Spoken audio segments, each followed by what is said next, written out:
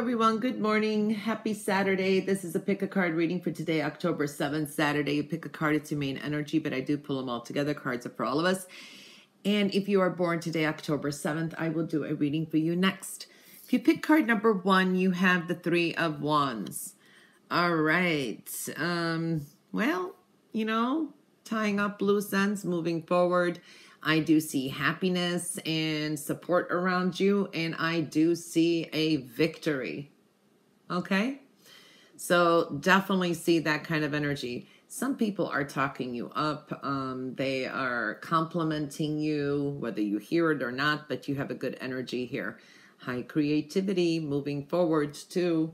Card number th- uh, two is the Three of Swords. Okay, so some of you, you may hear from an ex or someone from the past.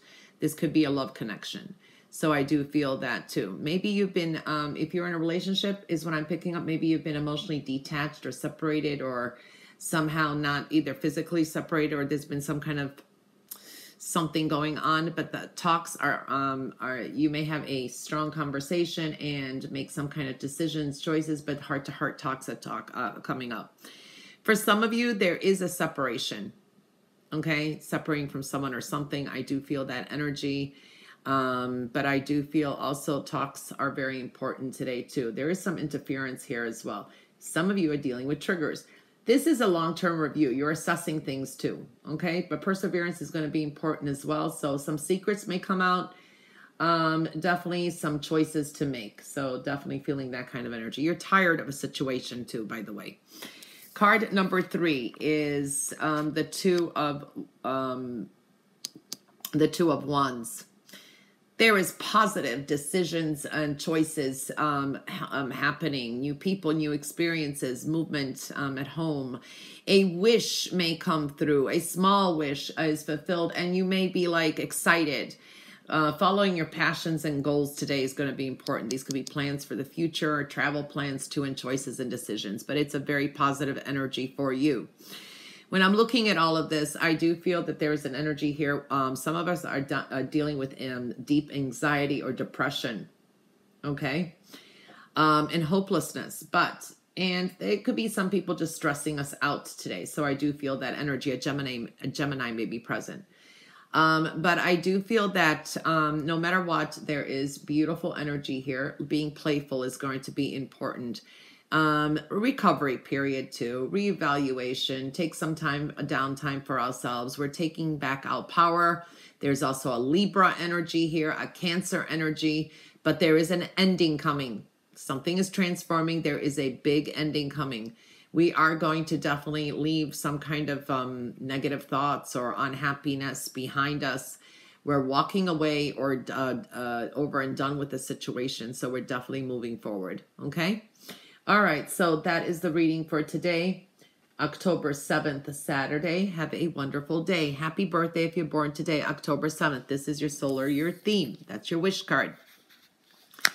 Solar theme shows a King of Cups. This is a Cancer male. Scorpio or Pisces is coming into focus. For a lot of you, your health and well being is definitely in focus. Okay. For some of you, there could be an ending with um, a water sign person in your life, some kind of ending, death, rebirth, some kind of ending is happening. Um, something is transforming as well. Okay, even with love. Um, if you have any medical issues, make sure you don't let anything fester. Take care of your um, health this year. Talks and counsel is very important. There can be um, a signing of a legal contract or document that's going to be significant. Um, I do feel that there is more positivity coming into your life. You have luck on your side and abundance, but proceed with caution with things, especially advice that is given to you in that too.